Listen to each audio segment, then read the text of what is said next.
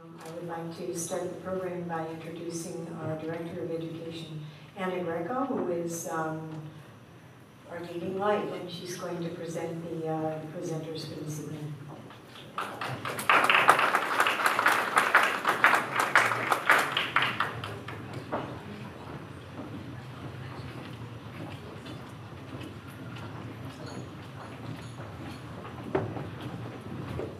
Thank you, Davina, and good evening. It really is a pleasure to be the moderator for tonight's uh, panel discussion. One of the consistent themes that we come across in our work at the Historical Society is the importance of place. The institution is located on the Bush Holley Historic Site. The exhibitions explore the stories and the history of the town of Greenwich, and many of the research requests that we receive and answer have to do with homes and properties here in town. Currently on view in our gallery is the exhibition Jim and Jane Henson, Creative Work, Creative Play. And this exhibition focuses on the time that the Henson family lived here in Greenwich. And one of the highly influential elements of that experience was the house that they lived in. The house is still standing and can be found nestled in the hillside on Round Hill Road. And it doesn't take much research to learn that this house has a long and interesting history. Today's panel consists of four individuals who can shed some light on the story of the Green Twachtman House. Teresa Vega is a former adjunct professor of cultural anthropology, a genealogist, and the creator of the blog Radiant Roots, Goriqua Branches. She's also a descendant of Allen Green and will discuss the early history of the house and the community that surrounded it called Hangroot. Susan Larkin, art historian, curator, author, and former chairman of the Greenwich Historical Society, will focus on the late 19th century when the house was owned by Impressionist painter John Henry Twachtman. He was inspired by the home as well as its landscape, and that can be seen in many of his paintings. Cheryl Henson, president of the Henson Foundation, board member of the Jim Henson Company, and daughter of Jim and Jane Henson, will discuss the experience of living in this house as a child and the inspiration it provided for the family's creative endeavors. And then, last but not least, is John Nelson, who is the current occupant of the Green Twachtman House. He purchased it from the Henson family in 1971 and has lived there ever since. So I'm going to hand this over to you, Teresa, and you will get us started. That's the one. Oh. And point it, the computer's actually this way. No worries.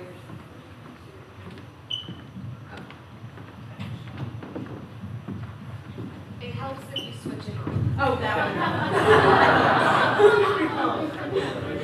Well, I, I want to say this is such an auspicious day. Um, this is my descent line. I say auspicious because this dude here, lower left, is my grandfather, and today would have been his 97th birthday. So I am so happy to be here today.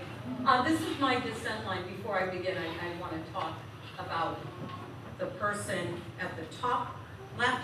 That is my second great grandfather, Georgie Green. He was born 1846, grew up in the Green Twachtman house. It's his father, Allen, who, and, uh, who, who built the house that uh, John Twachtman uh, bought. Next to him is my great grandfather, Richard Warren Green Sr.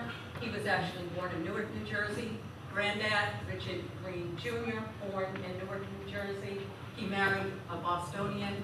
You get my mom, Joyce Marie Green Vega, and born in Boston, and then you get me. So if you hear Boston, I can't help it. Okay. So my name again is Teresa Vega. I am the third great granddaughter of Allen Green, who put the green in the Green Twachtman house.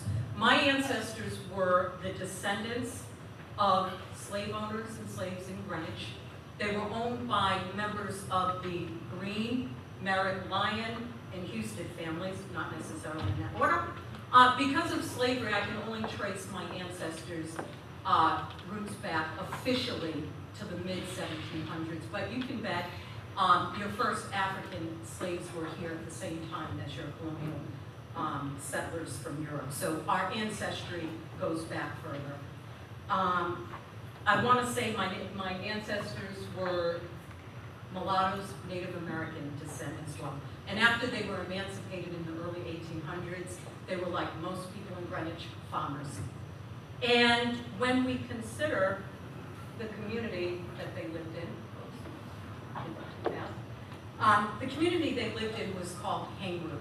Hangroot proper, which today we consider to be around the Round Hill Road, was actually a much larger area. The northern borders were Clapboard Ridge Road, southern border was Glenville Avenue, eastern border would have been Lake Avenue, western border would have been Peck's Hangroot was not an all-black community, but it was a community where black Greenwich folks lived.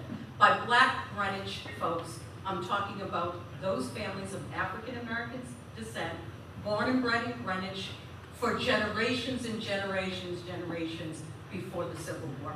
We're talking people whose roots were formed, you know, firmly planted in the North. Um, among black Greenwich surnames, in addition to ours, you have Peck, Bush, Brown, Peterson, Purdy, Belcher, Falmetta, Mills, Meade, Seymour, and others. So there's a direct line between the African American community of Hangroot and their former slave owners. The only name, surname that uh, I can't trace back is Falmetta, which may in fact have Native American origins. My ancestors lived on Round Hill Road uh, from the beginning. Allen's father, Anthony Green, bought property uh, in 1820. He was part of a $5,000 land deal where he was the only African American. And, um, and the, the men who went on the land deal were either his former slave owners or his wife's former slave owners, or his neighbors in what was then called Sherwood's Bridge, Glenville, and, and Rye. And um, what's interesting is when you consider who his neighbors were when he was in on Round Hill Road, they comprised people who were part of a social network of abolitionists, members of Second Congregational Church, members of the Fairfield County Anti-Slavery Society. I'm going to get back to that later. In 1830, Anthony and Peg's other sons, Charles Merritt and Henry Green, buy property near, right next to 30 Round Hill Road, actually.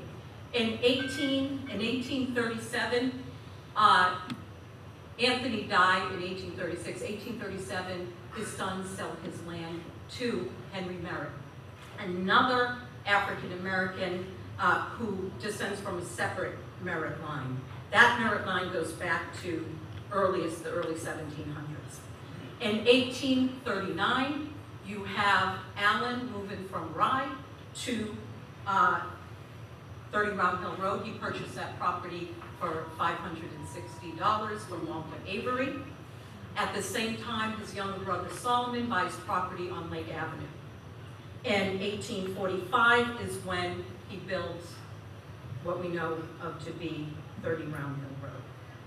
And in 1878, he passes away. 1879, that house is sold to Frank Stuba for $860. Okay, so our line is, is firmly, Marines are on Round Hill Road, okay? Now, starting in the 1800s, my ancestors sought to leave Greenwich because of two factors. One being European immigration from Ireland, Scotland, um, Italy, Poland, etc. These immigrants come in, and although there were, there were people who were skilled laborers like stonemasons in, in Hainroot, folks in Black Greenwich were primarily your unskilled laborers, your farm hands, your servants. They're displaced. Those folks have to go where the jobs are. My second grade granddad ends up moving to down to Westchester before New York City, before he marries a Jersey girl. Okay, the second thing that happens is that the Rockefellers come in in 1870 and the gentrification of Haven begins. Okay? That intensifies in the 1880s. And then in, by 1890, the year Twachtman comes to the scene, who's left?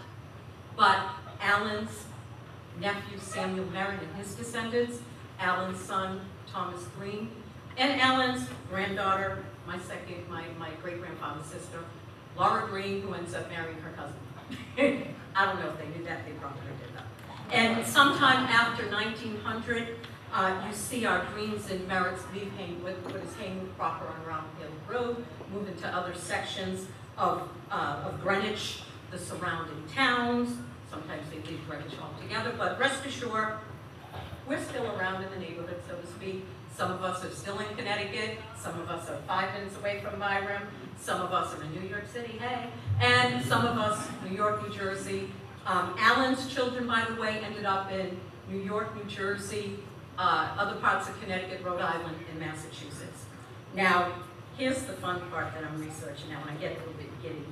Boston will come out because this is such a wicked piss of thing, but um, my ancestors are the descendants of both slave owners and slaves born and bred in Byram.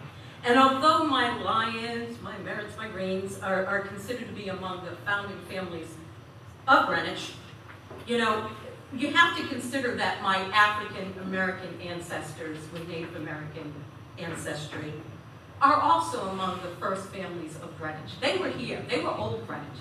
Okay, so I, I, I need to write my ancestors back into the historical record. They were always here. And I want to make that clear because some people might be mistaken about that. But in doing research on my lion uh, side, I, I, I made the requisite tour of the Thomas Lyon House and got all giddy because as soon as I left there, I knew going in that um, two of my distant Lyon cousins, Seth and Gilbert Lyon, had fathered the fugitive slave. So I walk out, and I know many of you know uh, Joe Conboy of the Greenwich Preservation Trust.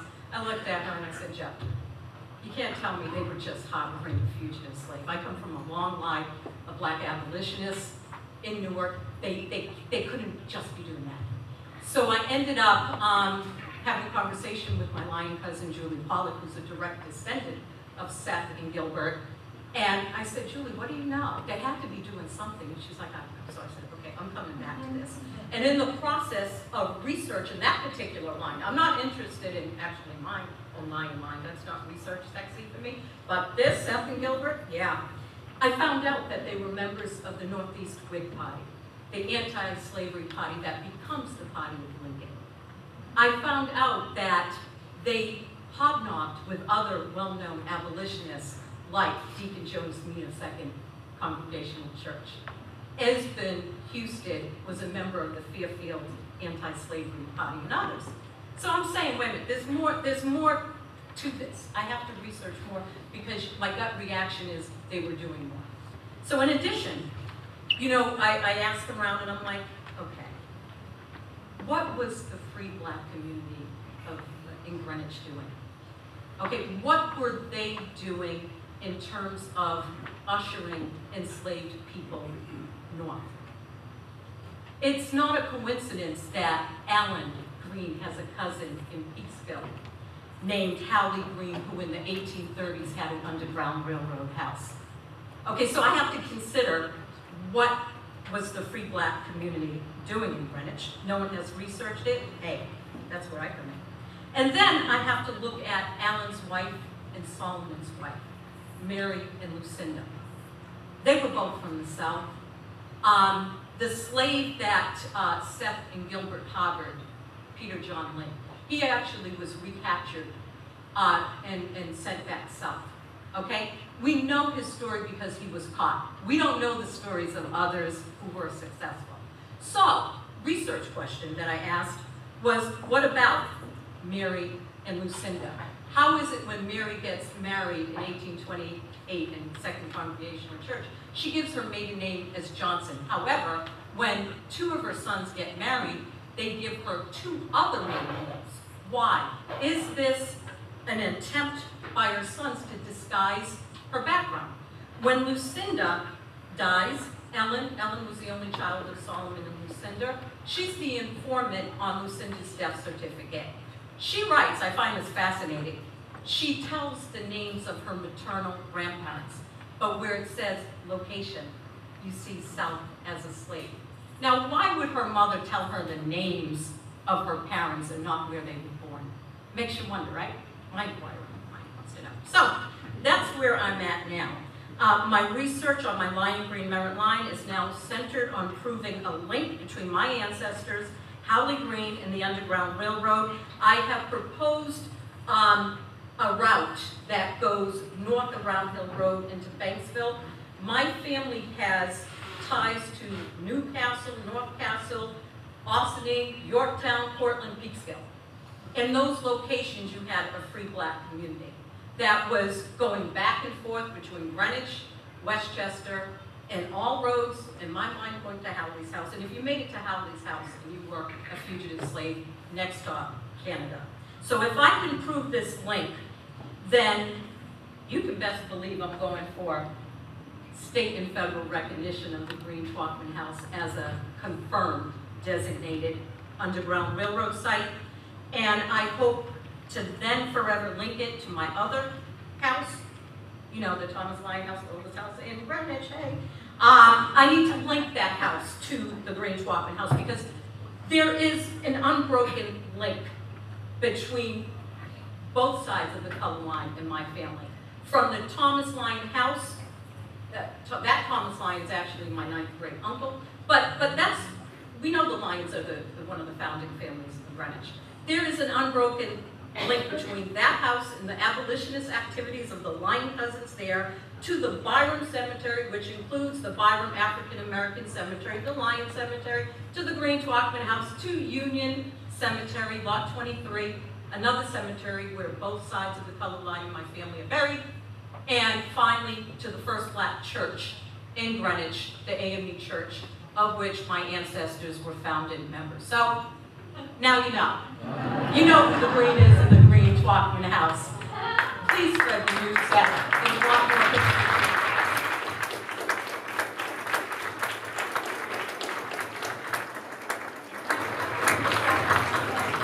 By the way, my bad, up in the corner, this was the slide where in 1890, my Merritt ancestors are way up at the top. They might look like trees from here, but believe me, they're up there. This this one, this forward. Yeah, that's what they tell me. Teresa, you are a hard not to follow.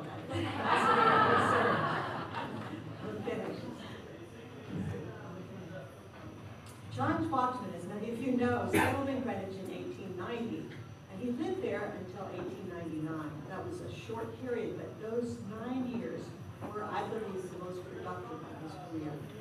Um, The house on Mountain Road played, the setting for three of the most crucial themes for. It was to become his principal subject, I've had to give up these on. Okay. Oh, okay. Okay. Oh, pardon? Okay. Um, The house on Hill Road played three crucial roles for Twachtman. It was his home, his principal subject, and the gathering place for his friends. And in the short time that we have this evening, I will touch briefly on each of those roles. Here you see the family in their front portico. Twachtman in front, unmistakably. His wife Martha hidden a little bit in the back. She's holding two babies on her lap. And six of their seven children. The youngsters found the house and the grounds around it a place of, of great pleasure and, and happiness. Uh, their father had diverted part of Horseneck Brook to make a swimming pool for them and provided a little rowboat on which he, he depicted them in several paintings, paddling in the rowboat or using it with a little sail. It's hard to believe you could do that in the Horseneck Brook, which isn't that deep today. Um, the portico shown here both in the photograph and in Twachtman's painting. This painting is now at Yale University Art Gallery. Uh, but portico is thought to have been designed by his friend, the noted architect Stanford White. Can I get it? Okay. The paintings, Twachtman was, was basically a landscape painter. He did not do very much figure painting. The paintings that did include figures were almost always depicting his wife and children, as is the case in these two. Um, and the paintings that include his family radiate his love for them and their home. In the picture on the right, he eliminated the horizon line and exaggerated the height of the phlox, thereby sheltering Martha and three of their children in a domestic shrine. It's like, it's the classic enclosed garden, hortus conclusus. He also borrowed devices from religious art for the work on the left, which depicts a small child fe- feeding poultry, while an adult, presumably her mother, looks on. The doves, the shrine-like trellis, and the light beaming down on the child elevate this humble subject to a glorification of the family.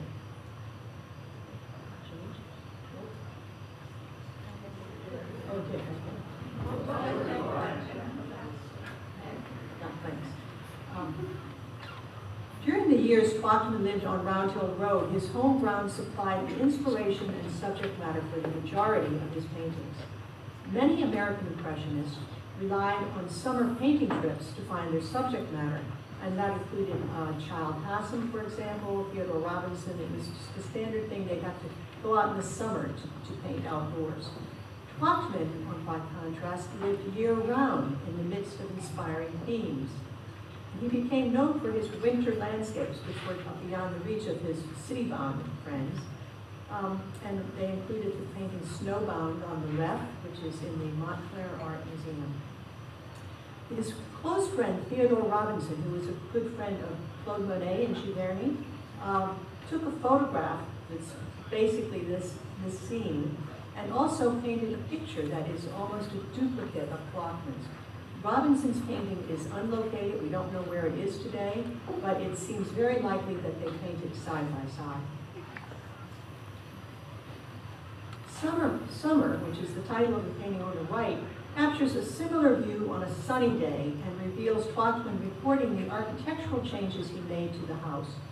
Notice that the snow scene shows the house with one gable, whereas the summer scene shows it with two.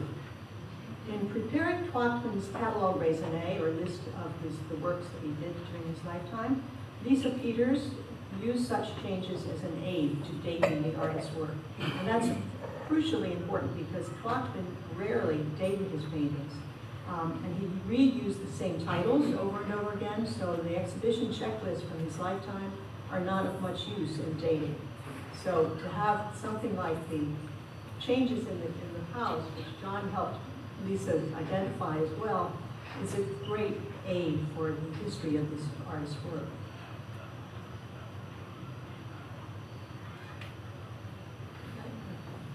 Um, from the time Twachtman moved to Greenwich, his home was a gathering place for friends. J. Alden Weir, Childe Hassam, Theodore Robinson, Robert Reid, Henry Fitch Taylor. They were just a few of his many visitors. And so, in fact, so many painted uh, there with, with Twachtman that a New York critic wrote, Mr. Twachtman's country place seems to be a regular rendezvous for Impressionists. Hassam even helped, I don't know if you knew this, I guess you did, John. Hassam even helped to lay the foundation for an addition to the house. So the, the house incorporates the artist's work completely. The Cos Cob Art Colony had its start on Round Hill Road, where Twachtman was the core around which the art colony uh, coalesced. Robinson painted this landscape, his title tells us, on Rock, uh, property. The title is actually on John H. Twachtman's property, Greenwich, Connecticut. Uh, pretty straightforward. And it's a good thing that he did give such a descriptive title because at first glance, this painting looks very empty. There are no buildings, no obvious landmarks to help us specify what the site is. Um, and it seemed a little vacant to me at first, but then looking at it some more and thinking about it, I really came to love it. Uh, I think Robinson has left us a rare portrait of what the land in Greenwich, much of it looked like at the turn of the last century. It's not the leafy, shady, tree, back to forest that we know today, but there are very, very few trees. Um, the land was devoted to um, agriculture, to pasturage for cattle, and also to raising crops. So you didn't want to have a lot of trees. Um, the defining feature uh, here is the, this Horseneck Brook, tumbling downhill from the upper left to splash over a cascade in the center and make an S curve in the foreground. It's a very geometric painting in some ways. Stone walls mark it as a New England site, and treeless fields identify it as farmland devoted to crops and cattle. And when Twachtman came there, the uh, Horseneck Brook, which featured so beautifully in many of his paintings, It was a watering place for cattle, so you can imagine how muddy and messy the edges of the, of the brook looked that day. Some of Twachtman's 17 acres no doubt remained farmland, uh, and probably were tilled by um, tenant farmers. But he planted trees, flowers, and vegetables to make the area surrounding his house a garden. Okay.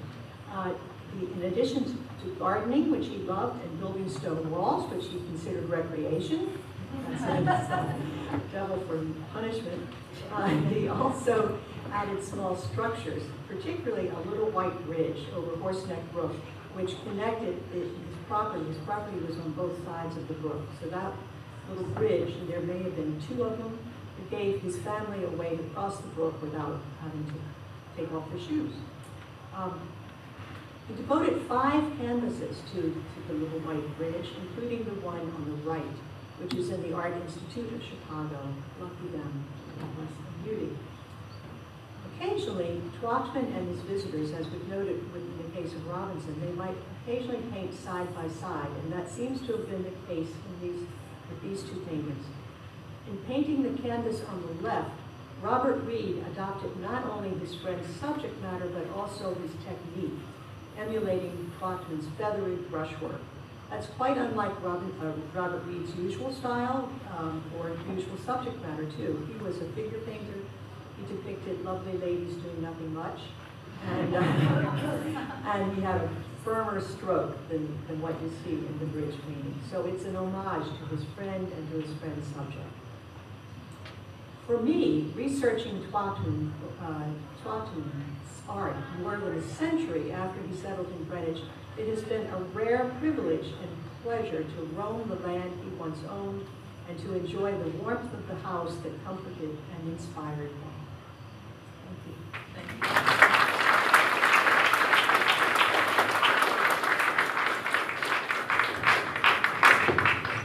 Hi, my name is Cheryl Henson, and I'm one of Jim, Hens- Jim and Jane Henson's five children. Um, like uh, John Twachtman, my father, my parents lived in the house for only seven years, but it was a particularly creative and important period of development for his, for him as an artist. Um, I, I hope that you all have seen the exhibit. It's still at the Historical Society until October 8th, and it really is delightful. So if anyone hasn't seen it, please do go, go out to see it. Particularly want to thank Karen Fredericks and also our, our archivist, Karen Foss, who's here tonight. It was a delight to have that exhibit here. Um, I loved my childhood in at 30 Round Hill Road. It was an ideal setting for a young family an old home full of nooks and crannies, back stairs, stone paths, an old barn, and old road gardens. It was a place full of history and story. It was a quiet oasis, perfect for our family, bordered by an old forest, I guess not as old as I thought, um, but by a forest, a wonderful babbling brook out, out, out the back, a fast and impa- impassable road, of Round Hill Road, and a single neighbor, the old man, Colonel Twachtman. And we were fascinated by Colonel Twachtman up at the top of the hill. Um, my own parents did not come from this area. Uh, my father's family was from Oklahoma and Virginia, and he was born in Mississippi, where his father was stationed with the Department of Agriculture. My mother was born in Queens and grew up in Pelham. They met at the University of Maryland, and they started the Muppets and then their own family in the DC area near where my father's family lived. They moved to New York to be closer to the advertising and television business. But when they had their third child, my brother Brian, uh, their apartment felt a little small, and they came out to Greenwich. It must have been a young couple's dream to move into such a house. It was 1964, and my father was only 27 years old. It was long before the success of Sesame Street. But my father had done well making commercials, and this was a house that he and his wife completely fell in love with. They had owned a house in Bethesda, Maryland, but this house here in Greenwich was something extra special, and they knew it from the moment that they saw it. My parents enjoyed creating a family life full of projects and creativity. They were young artists and they loved coming up with new projects. One weekend, my father had us all um, work on underwater mosaics to decorate the small bathroom, the original, uh, small room off the original kitchen. Um, uh, of course, the best ones are, of course, the ones that he made, but we all participated. We made some wonderful mosaic fish. Um, he also had an ongoing project to paint the wooden spindles in the kitchen cabinets. He loved decorating things, and his hands were often busy with creating and decorating and making at the time. My father loved this house so much that he made a dollhouse to match our house for my third birthday, and uh, later featured this dollhouse in a film for Sesame Street, the number two film, which is uh, playing at the exhibit. If you haven't seen it, it's really marvelous. It features the dollhouse as well as all our original doll furniture um, and our own kitty cats, the two cats that come and come for tea and destroy everything in the house. But they get some. Um, I loved our house so much, and in many ways I was able to keep it with me throughout my life by keeping this dollhouse that my father had made. Um, as children, we were invited into my parents' world at many different levels. Um, even when we were very young, we were playing with the puppets, we were um, engaged with the puppets. Not only the professional puppets, but my mother was trained as a um, art teacher, and she loved doing creative projects with us. And puppets were truly something that she enjoyed. And so she had puppets around the house. She would, as you see, play with the puppets, um, entertaining us, and also encouraging us to create our own. They were very uh, creative and imaginative parents, and they loved being parents. Um, but my father wasn't, at that time, he was, he was, he was a multifaceted artist, and um, exploring not just the puppetry, but a range, um, exploring the mediums of film and television in a number of different ways. Uh, during his years in Greenwich leading up to Sesame Street, he was involved in a number of projects, including an Oscar-nominated film, Timepiece, a high concept, which he's flying like an angel, that's from Timepiece, and uh, that, excuse me, and a high concept multimedia nightclub called Cyclia down here, uh, a documentary called Youth 68, and this is a still from Youth 68. And some people think that's my dad, but it's not. Um, it's a yet another bearded man. But it was about the youth movement, youth culture. Um, was a very experimental interpretation of what was happening in the United, in America in 1968. Um, and he also was working on a, a very large-scale Las Vegas stage show with Nancy Sinatra. So this is just a sampling of some of the many non-puppet things that he was working on at the time. But he also continued to explore what could be done with puppets on television. He made uh, many specials for family audiences, uh, films for IBM, and appeared on a range of variety shows. Then in 1969, five years after we moved to Greenwich, Sesame Street aired on PBS, and the Muppets became household names. And it's interesting to note that before it aired, my father brought an episode of Sesame Street, a test episode, to the North Street School where we were students and screened it for our class.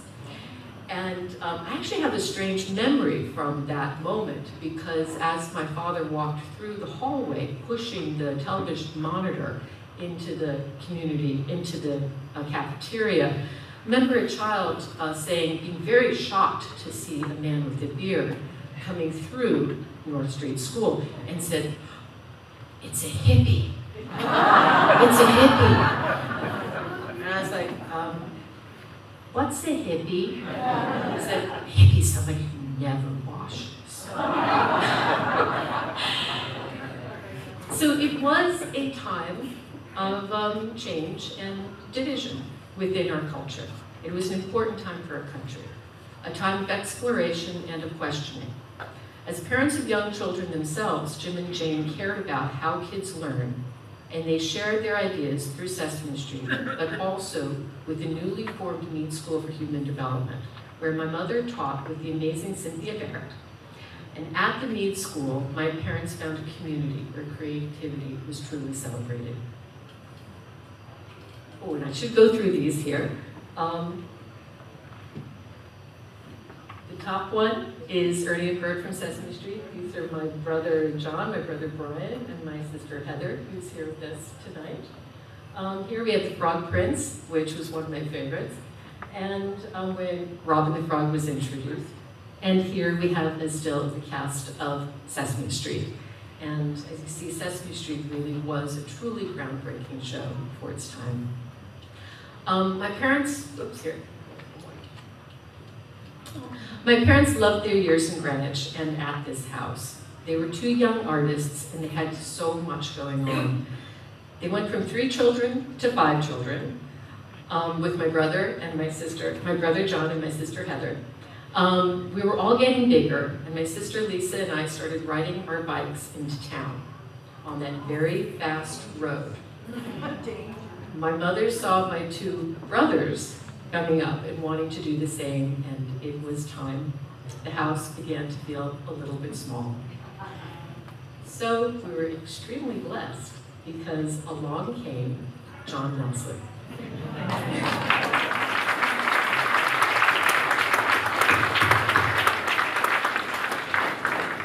So this is how I found the house. In 1971, when my wife and I were looking for houses, our broker being at her wit's end, having showed us over 50 houses and we not having put in even one bid, said there was one that wasn't on the market, but she couldn't show it to us or get it listed until we met the owners first, since they wanted to see if we'd be a good fit for the house. The buyer being a good fit for the house was a new twist for us in the Greenwich real estate market, where mortgage contingency, speed of closing, price, and engineering details were the norm. We asked around about the Hensons, and we found that Jane was a free thinker otherworldly, if not psychic. And that's probably why she wanted to meet us. I was a lawyer at the time, and I wouldn't have let a lawyer into the house if I was a free thinker. Anyway, we figured, okay, if this is important, because we both love the house, let's do it.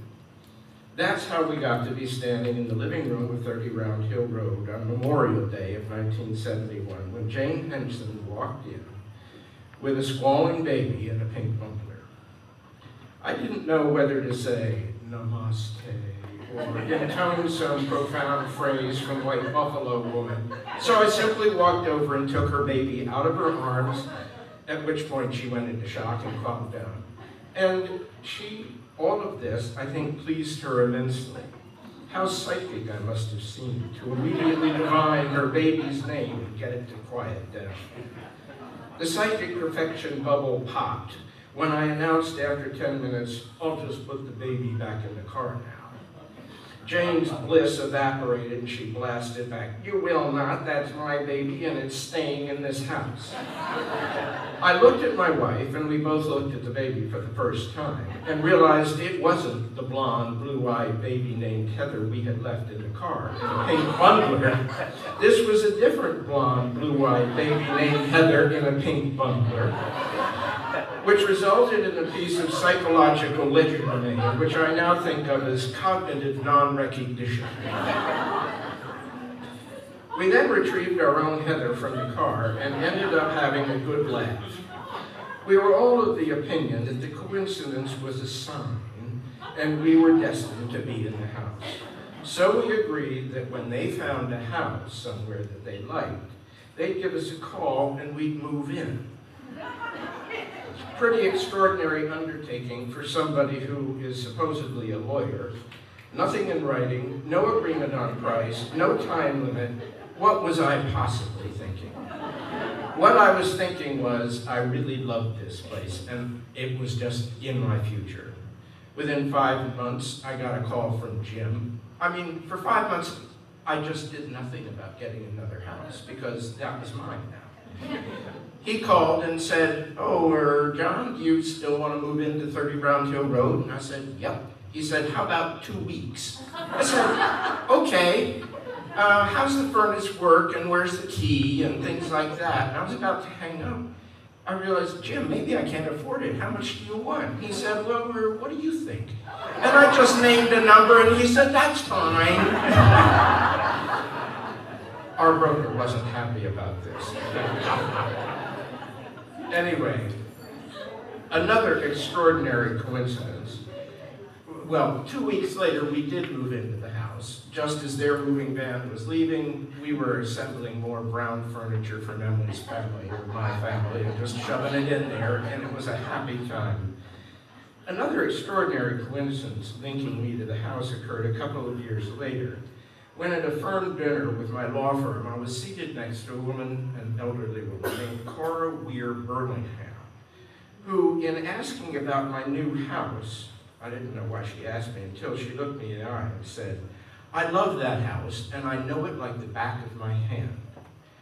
And I looked at her, she said, my father was J. Alden Weir, who was Twachtman's best friend and artist buddy and instrumental in getting him out here from New York. And so she, the wife of the senior partner of my law firm, was playing around in my house 80 years before, and now I'm sitting there owning the house, hearing all about the same nooks and crannies that my kids and Cheryl's friend are all playing in. Let me say about the factors that make the house such a joy to live in. First of all, the small rooms. After we had bought the house, we'd tell people where we are. I'd say five out of ten people would say, oh, we looked at that house. and I knew, and the reason they said it was a bunch of, it was a rabbit warren of small rooms, you know. The small rooms, however, one of which is classed by the town as a closet, it's a bedroom, encouraged everybody growing up to really be down in either the living room or the kitchen. And the fact coupled with there was only one shower in the house and we all had to get to know each other that way. Anyway, the, the living room was the place where it often, can you twitch that for me? The, the living room, let's try one more, but the child has that picture. Uh, Anyway, the, the living room was where there was the fire, it was the biggest room in the house, homework was done, or you were eating in the kitchen. And in fact, there was a Childe Hassam painting of two of Twachtman's children working in the living room, just the same way my girls had been working in it a hundred years later. And when we looked at the house, I think your family was pretty well centered on the living room. You had a puppet theater in there, as I recall. Another aspect is it's, it's a passive solar house. Everything on the, on the south side of the house is glass, which means in the summer they have wisteria and grapevines that shade the window, but in the winter all the heat comes in and light. The only difficulty with that is, of course, when all the foliage disappears, it's a little like being in one of those ant farm houses, you know. My, our neighbors drive by and they, oh, they're down in the kitchen. Anyway, so much for, for voyeurism. The architecture of the house creates the dialogue between the inside and the out. There are six different entrances and exits, burglars take note, to the house, each of which gives access different, to a different outdoor place to sit. The Juliet balcony that Hassam is reputedly designed outside the master bedroom, a couple of chairs there, little table by the root cellar, the outside dining hall by the kitchen, and chairs under the portico. You wouldn't believe that portico in a full moonlight. It amplifies the moonlight. And just to sit there and have a scotch or something, it's, it's, it's fantastic. And you enjoy the whole realm of the house from these different little sitting areas. one of the, one of the Twachtman letters, somebody observed and I think it was about 1896, the pleasure of just sitting on the porch at Twachtman's place in the evening and watching the fireflies, which by the way are still great today. The history of the house and sharing the same joys now that others have enjoyed over the ages. The, hor- the sound, the roar of Horseneck Creek when it's roaring, the beautiful magnolias which Twachtman probably planted. And Twachtman's paintings themselves are so poignant in their depiction of the trees and the landscape, but mostly the sunlight. When you look out the window, you see a Twachtman painting the imaginative spaces and the mosaics the Hensons did and their decoration of the hutch, the secret stairway up to the bedroom, all create a sense of being part of a living history, with all its joyful past reflected in the wonderful spirit of the house and the grounds. The setting of the house on the grounds is important. They, I've had more people sitting there in front of the fire on a winter night saying, I feel safe here. I feel I mean, most of my friends are neurotic and a little strange, and they can even relax there. It's built, it's built into a hill, and it's reassuring that it is. And outside, it's in the middle of four little vignettes. There's only, I think I only have an acre and a half left of the 17, but each one is a little lawn, a little garden, woods, a sloping hill. And it goes with the different facades of the house that it looks totally different from each different point of view that you're in the house. And I think I've put a dining room, a card table everywhere on that property just to have dinner and look at the house. It's, it's great fun. And I having said that, I'd like to thank the Land Trust for maintaining the beautiful meadow across the road. It's, it's a wonderful farm feeling uh, to have that there. And also I like to cross-country ski in it, but the view of the house from that meadow is just terrific. So it has this organic entity, a product of all who lived there, whose families have had the best years, I think, of their lives right here. It carries that energy and has always been a home in the truest sense of that word, as opposed to just a house. I feel lucky that the Hensons did their investigation and chose us to be its caretakers, and hope that when the time comes, there'll be somebody out there in the real estate buying public who will keep it alive with the love and attention it's become accustomed to.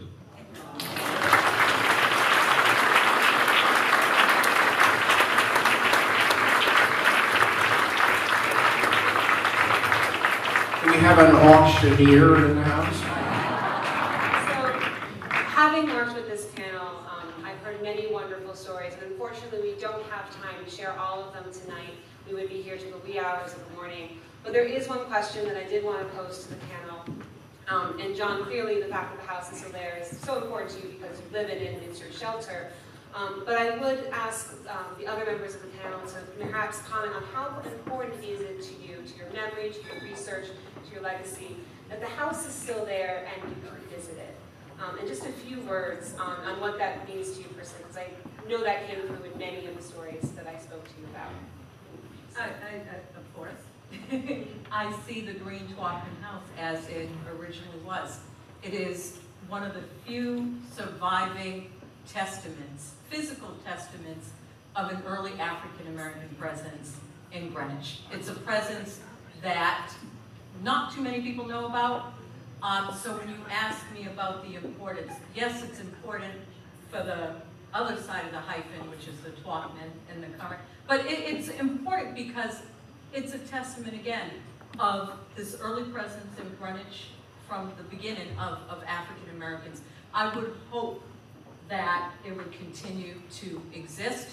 Part of me trying to do my research and to get state and federal recognition as an Underground Railroad site is to make it a little bit more important and valuable to this town. Whoever comes after John, that maybe they'll see the historic importance that you have this deep history that goes back, that leads up to Twachtman, that leads up to the Henson family, up to the current steward who's so, so gracious to have given me a tour, and, and, and uh, I, I go back and forth with him about the history. I- It's important that we know the full history of this house, there's so much more, and it's, it's such an important, important part of Greenwich history that includes, not only, that includes Greenwich history as it was, that includes the history of slavery, of emancipation, of the fact that this house was Allen's house, you're talking one generation out of slavery. Okay? It's, for us, my family, it's a success story. Okay? Hate to say it, but we moved on up to the east side, we got a piece of the pie, you know what I'm saying? So, let me, let that. Thank you so much, Teresa.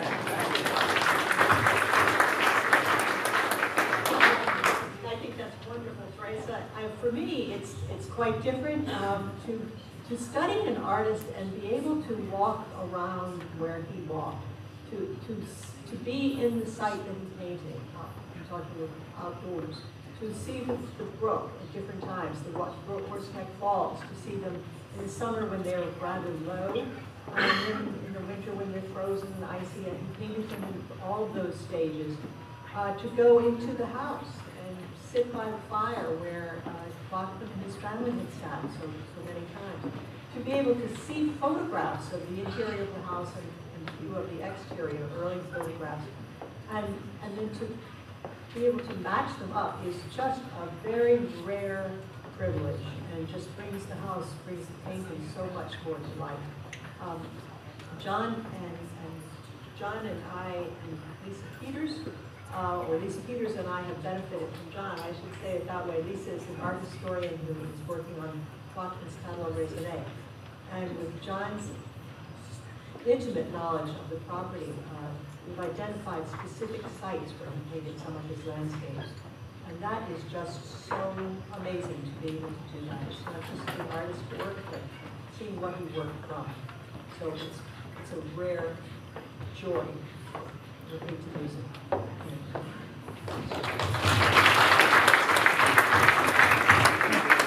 me, it's just such a treat to get to go to the house.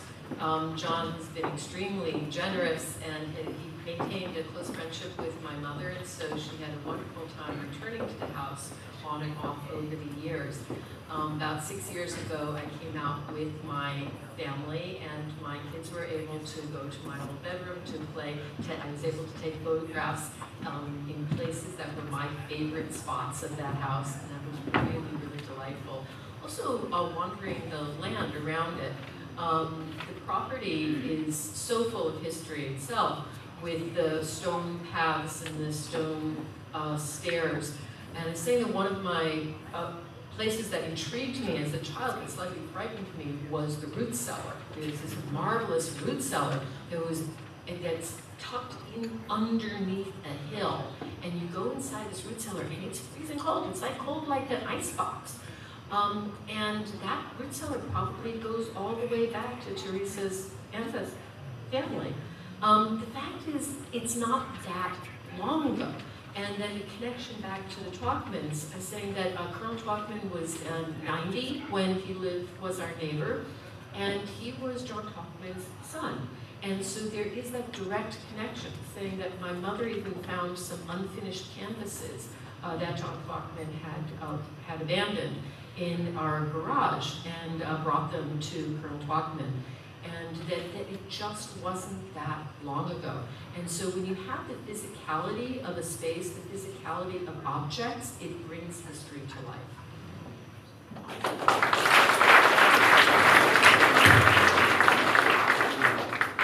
Was there anything you'd like to add, John? I'm the occupant. well, thank you all.